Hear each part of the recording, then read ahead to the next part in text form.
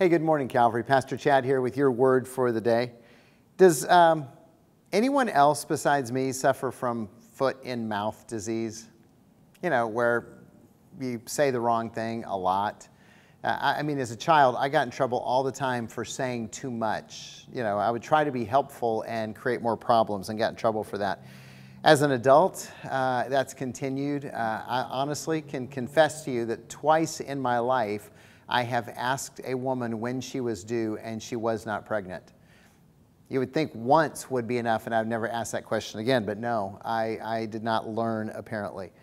Uh, that's why I love James chapter 1, verse 19. It's a verse for all of us all the time. James simply writes, Know this, my beloved brothers. So he's telling us this out of love. Let every person be quick to hear, slow to speak, slow to anger.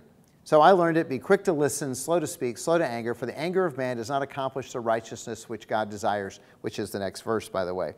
So he tells us this be quick to listen, be quick to hear. Uh, most of us don't listen at all. Most of us are just waiting for our chance to share our opinion and answer a question that wasn't even asked or defend our point of view. And James says, be quick to hear, listen to other people. And then he says, be slow to speak. Most of us are, you know, we want to jump in, interrupt others, give our answers, answer things that weren't asked, assume things that we didn't clarify. And, and, so, you know, that was my problem. I was always quick to speak and slow to listen. And then he says, be slow to anger. Slow to anger. So if you really want to test your love for people, ask this How quickly do you get angry? How quickly do you lose your temper?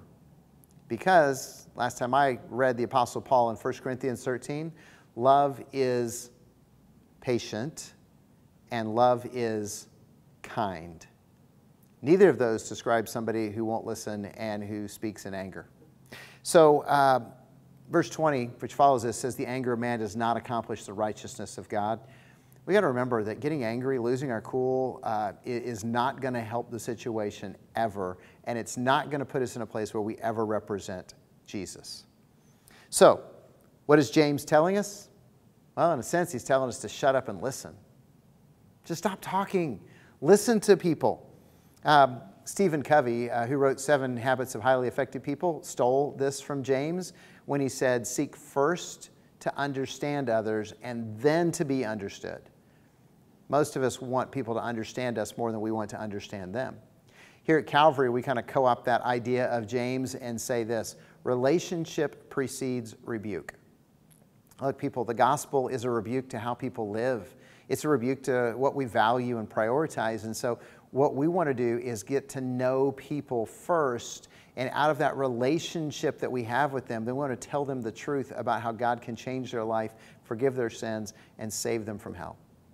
But to do that, first we want to have that relationship in our lives uh, with them. And the only way we're going to get to have that relationship is by listening to their story, by asking them questions about what they think and what they believe and how they want to live.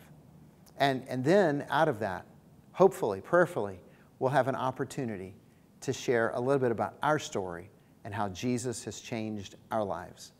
Uh, but this isn't only a good verse for evangelism, this is a good verse for your marriage. It's a good verse for your children. It's a good verse for your friendship. So let's hear it again. Let's be quick to listen, slow to speak, and slow to anger, for the anger of man does not accomplish the righteousness which God desires. I really hope and pray that that helps you. And if you don't want to listen to me, listen to what my mom always said. She would look at me and say, God gave you two ears and one mouth for a reason. I hope that blesses you, Calvary, and hope you have a great day.